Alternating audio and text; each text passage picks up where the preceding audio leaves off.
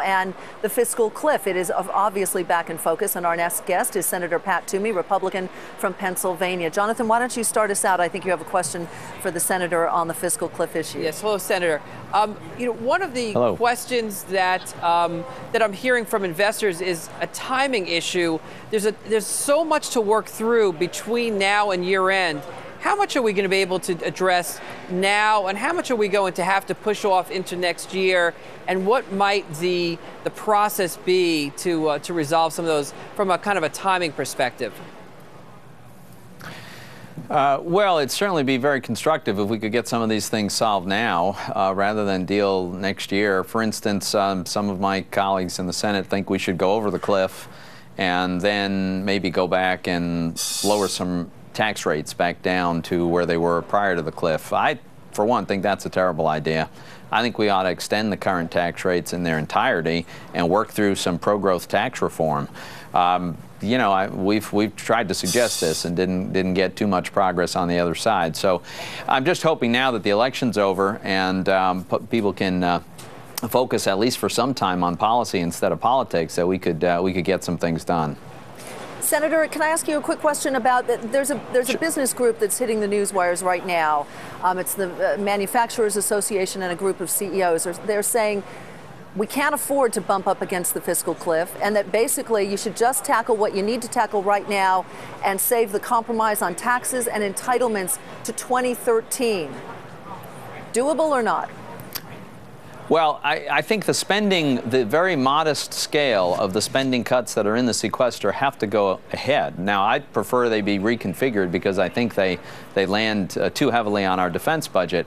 But, uh, you know, $100 billion out of a $3.7 trillion budget is actually a small cut and won't do any economic harm. Uh, it, it, could do some national security harm, but it wouldn't do economic harm. And that's why I think we reconfigure them and we're fine. The damage to the economy comes from this massive tax increases. Uh, you know, you mentioned, I heard just a moment ago, how high dividend stocks are getting hit today. Right. Well, as well they should. The president's plan is to triple the tax rate on, on these things. Um, that's a disaster. It's terrible terrible for our economy. It's terrible for growth. So, uh, by all means, I'd like to solve that problem now uh, if we can. Uh, mm-hmm. and we really, we really should avoid this huge tax increase that's right. looming. Senator Toomey, uh, thank you, Sue. Uh, Senator Toomey Tyler Mathisen here. I do want to ask you about natural gas, fracking in your state, and coal. But before I get to those two, if the president were to acknowledge that we can't afford a government as expensive as the one we have today, and he were to acknowledge and work uh, seriously towards the kind of tax reform, broadening the base, uh, getting rid of some loopholes that that you advocate, could you acknowledge that uh, the government uh, needs more revenue if that revenue strictly went to reduce the debt? I, I, would I would put it a little differently and refer back to the proposal that I personally put on the table when I was a member of the super committee. The optimal way to solve our fiscal problem is not raising taxes on anybody. The problem's a spending problem. That's to fix that. That's the optimal way.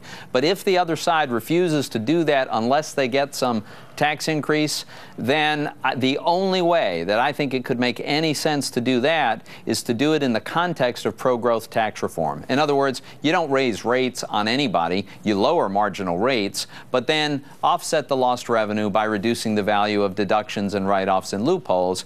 And if you have to, in order to get the improvement, uh, the, the reforms and spending that we need, then you might have to have generate a little bit more revenue from those reduction in deductions uh, uh, to, to more than offset the reduction in marginal rates, but only if we're actually solving the problem, mm-hmm. and that is a, a too expansive a welfare state. Well, Senator, what you just said sounds like maybe the kernel of, uh, of some progress there. Let me turn you now to natural gas fracking, which is very important in your state, particularly up in the north and northeast, right. and coal, which is very important in the Pittsburgh and southwest of the state. Right. What is the future of those two areas under a second Obama administration? Well, it's a big concern. Um, the, the, president's not particularly fond of fossil fuels, as we know, and particularly coal. There's been a very aggressive effort to really dramatically diminish our ability to, to use coal, and that's enormously problematic for all of America, but in particular for coal producing states like Pennsylvania. You know, we've had to close six Pennsylvania power plants just because of new, a whole new generation of EPA regulations. That's going to raise the cost of energy for us, and that's problematic. Now, in the meantime, of course, there's been a huge boom in natural gas that's dramatically lowered the price, and, and that has largely offset some of the damage that's been done on, on the coal side so far. But we really ought to be using both of these, and we ought to be drilling for more oil. We really could be energy independent, given the gas that we've found and the, and the oil that's coming from uh, new, new reserves that we can reach through fracking. We can be energy independent, but we've got to be willing to use the fossil fuels we have.